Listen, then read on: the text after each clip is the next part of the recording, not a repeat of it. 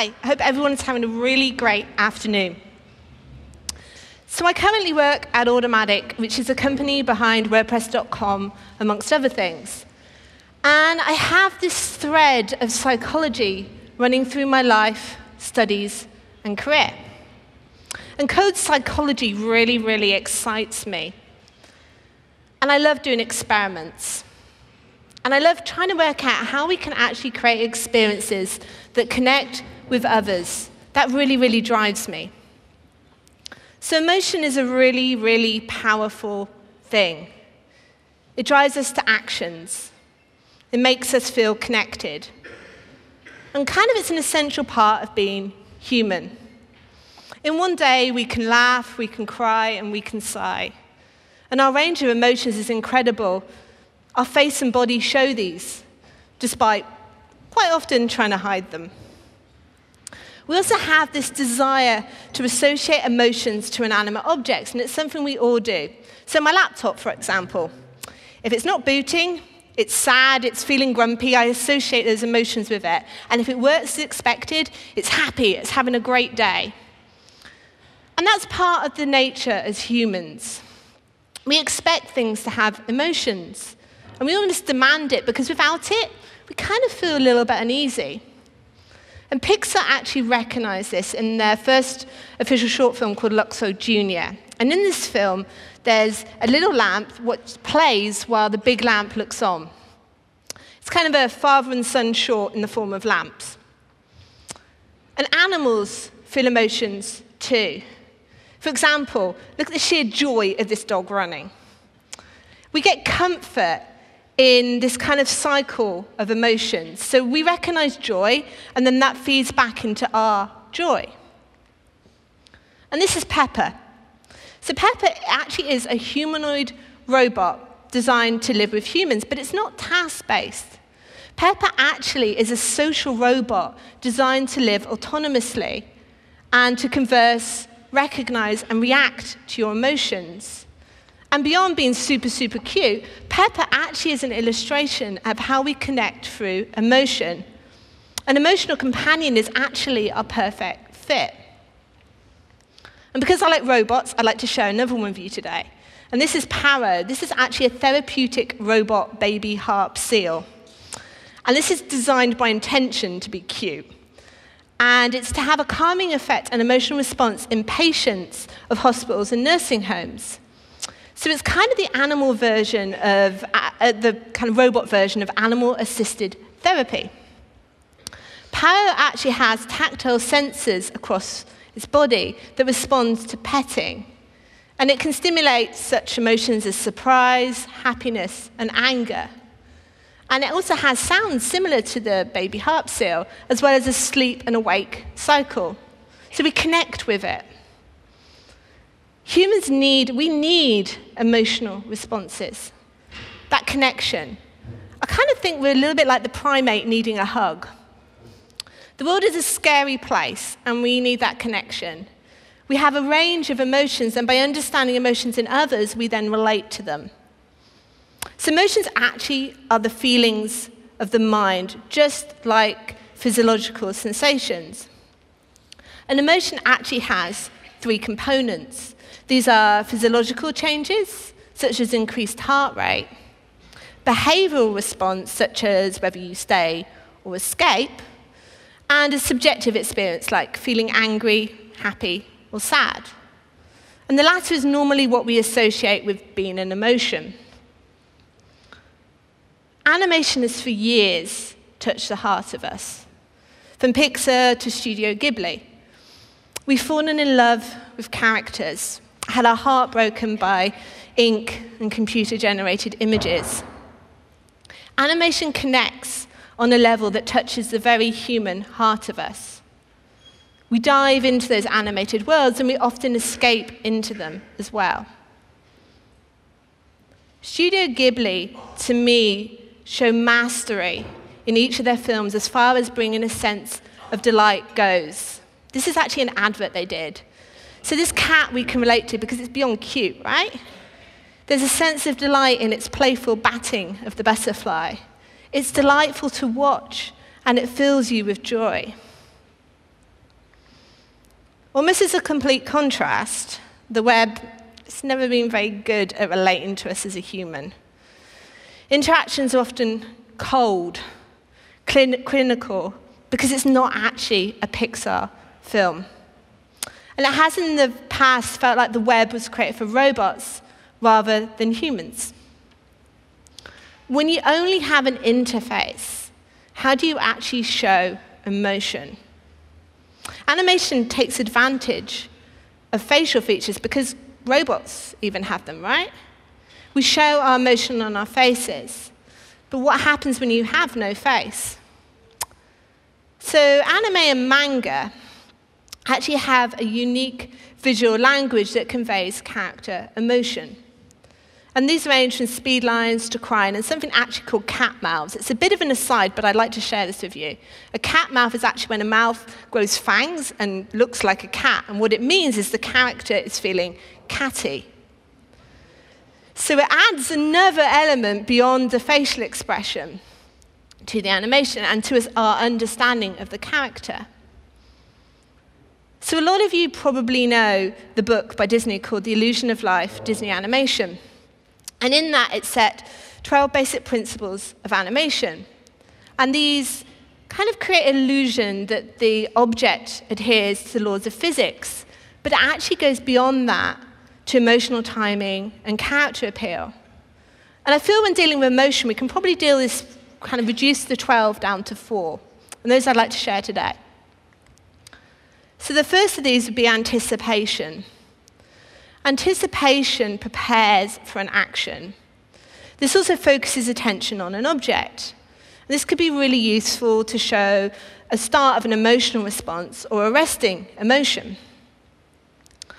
And then we have timing, and this is critical for conveying emotions. And different emotions have different times as well. It really can convey the character's personality. And then we have exaggeration. This is a little bit of a double edged sword because it can be a technique that's actually overused. But where emotion is concerned, some are actually exaggerated. And this is one that you can really play around with when creating emotion in a static element. And then you have appeal, which is essential for emotion. We have to find something appealing.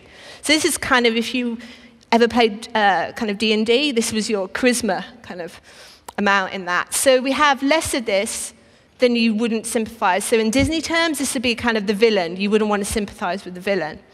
And this is also seen as a captivation of a character. So emotional experiences connect with the user. They bring moments of delight. An interface can touch you as you interact with it. And when you do that, you actually create a meaningful connection. And that's priceless. This is how your users become really, really engaged. They create feelings with your interface, and in a sort of way, they kind of bond with it. As a result, their investment increases as they use it. So, when thinking about emotion, I really think you can learn a lot from apps, and I'd like to share a few today. So, this is Katina, and in this, this little face, look at them as you kind of interact, their eyes, and you get that kind of feedback. You relate, and you get that kind of interaction. A Monument Valley, I think, can teach an awful lot about atmosphere and every single interaction layering up to create an emotional response and a feeling of the world. And Up Coffee shows emotion as it adds up. So it kind of gets more and more, and then it's kind of this woohoo, kind of as it fills up. It's so excited to be full. And I couldn't not show Flappy Bird, because a Flappy Bird to me shows personality right from the start. So kind of on load, the little character's ready to go and to die horribly, but it's ready to go. And then it refreshes again, ready to go and die horribly again. So we have this ability to create the same animated emotion in CSS. So this animation is really exciting to me, and it, the potential is thrilling. And there were tons of experiments like this amazing dozing bird. But what about the bigger view? What about creating an entire experience in CSS? The sites we create, we should see as a chance to move the user. Maybe it's for a reason like this site, which we're going to, it's rather apt showing this. We're going to have the demo from this tonight. What reason touching someone on an emotional level is powerful? In the past, if you wanted to connect with someone with the same power animation does, you'd use flash or video. This is moving. It's making a real connection with the human as you use it. And this site shows how a simple button connects you with the rest of the animation on the site. I think if this button had a noise, it would kind of be badoing, because that's what this button does as you interact with it. And it adds to the character and the feel of the unites with those UI elements to create the entire experience. And knowing the voice of your site and the brand is really, really a foundation to know what to kind of emotion you want to evoke. And it sets your emotional tone. If you think back to Monument Valley, how everything layers up to create that emotional tone. And those examples are great, but they're big. They're showcases of what an entire animated experience can be. And some are just experiments to test the boundaries of this relatively new format. What about smaller interactions? How can we bring a sense of delight to those? So animation isn't just for CodePens or fancy animation flourishes. We should be adding it to even the smallest of our UI, but how do we take those exaggerations into smaller forms? So like all the examples before, when animation designs for motion is thought of, it tends to be in the sense of that entire experience, the lead role. But these large experiences are incredible.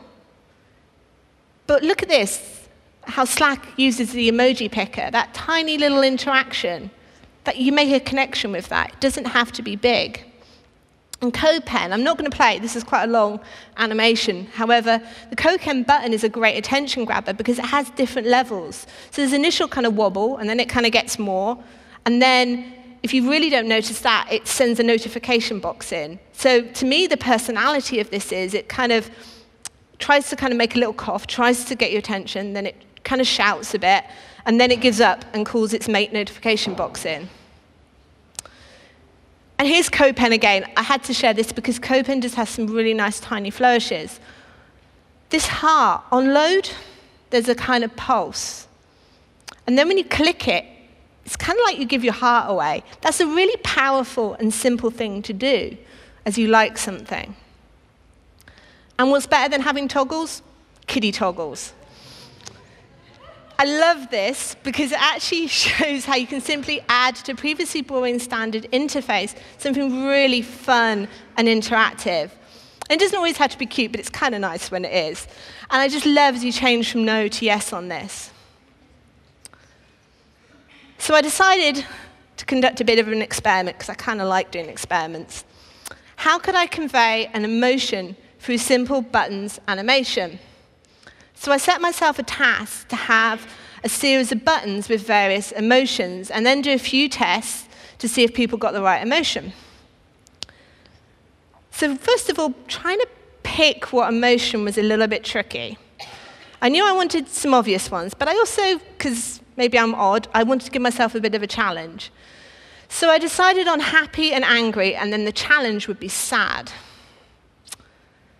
So, as with all good tests, I needed to set some conditions to really try and get this right. And I wanted to kind of narrow down what I was doing because there's an awful lot you can do with animation. There's an awful lot that can cause bias in someone when they're interacting. So I decided to just use ease in and out, just use translates, and also to focus on purely just doing simple keyframes.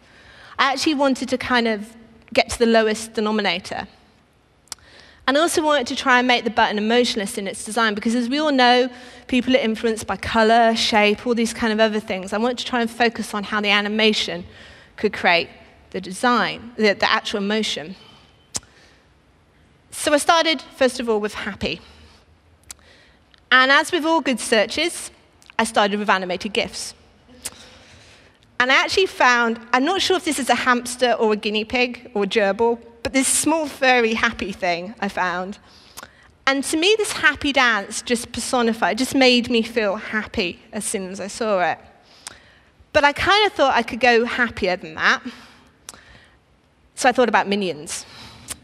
because minions just exude, they just have such happiness. It just kind of is exploding for them as they're bouncing up and down. So I wanted to bring that into my button.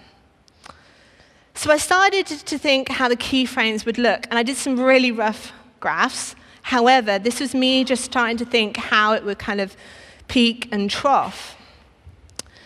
So I kind of thought the happy button would actually be keen to be used. If you think of the minions, they're just not kind of just grinning, they just kind of can't stop it escaping, they're bouncing. So I wanted this button to actually react on load.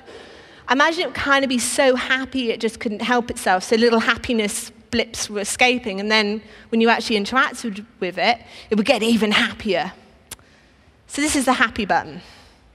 It's kind of just kind of doing a little, and then when you interact with it, it just cannot escape. So this is my version of a minions in a button. So then I went back to look at angry.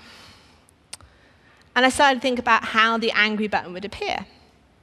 And I found this animated GIF, and you can see the rocks side by side of sheer anger. And I thought this would be good to reflect, particularly in relation to the minion button with the kind of up and down movement.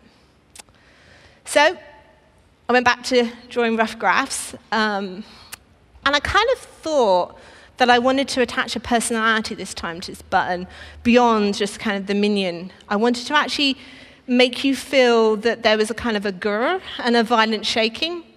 So I actually thought it would be a little bit like poking someone awake. So it would kind of be all quiet, and then it would kind of be a grr, get off, is what I wanted this, the kind of anger, so you kind of get that feeling. And this is what I had with Angry Button. So as you interact, it kind of goes, Grr, get off. And it kind of gives that feedback.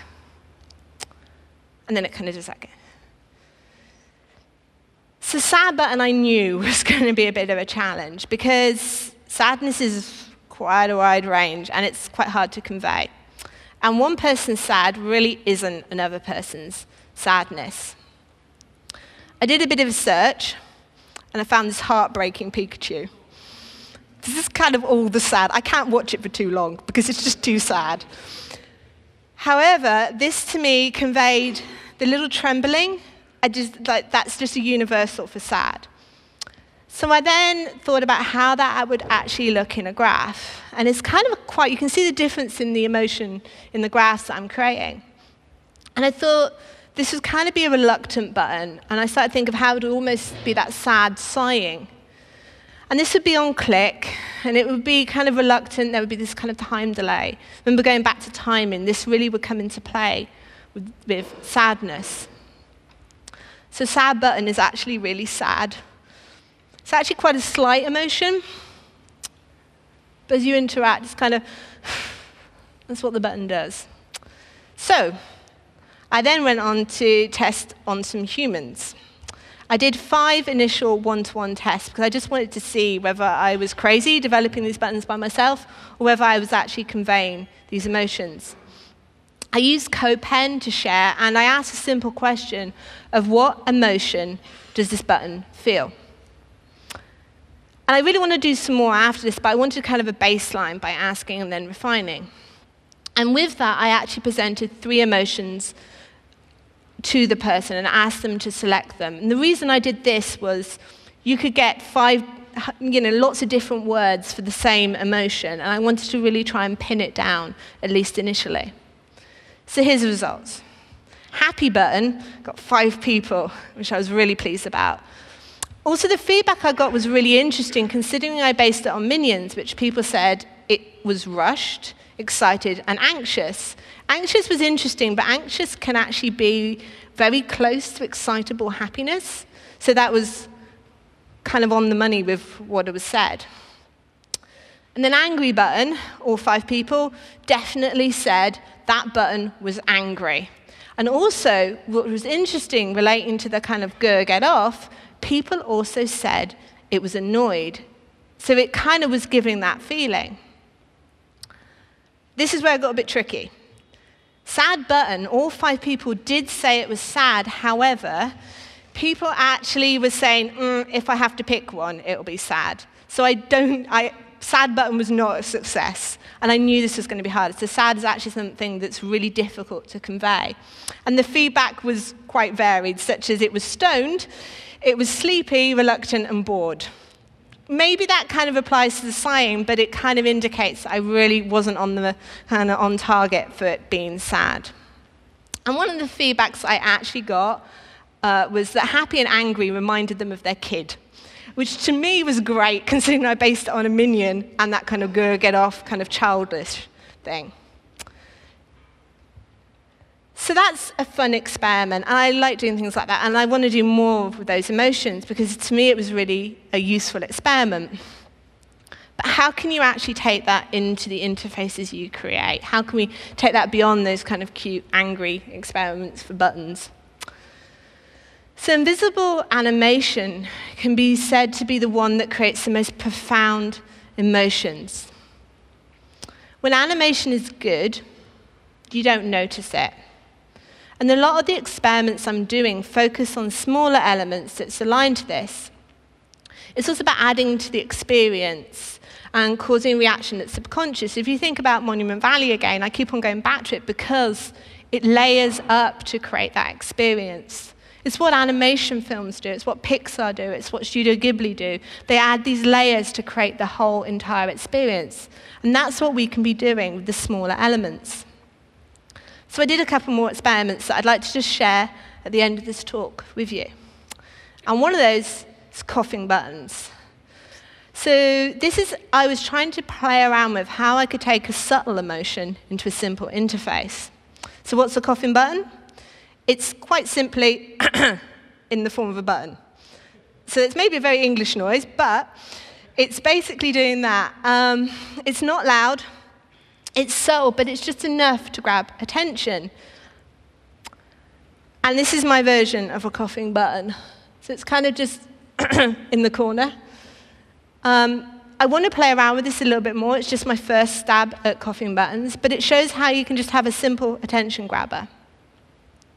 And the other thing I've started to look at is something called Zen inputs.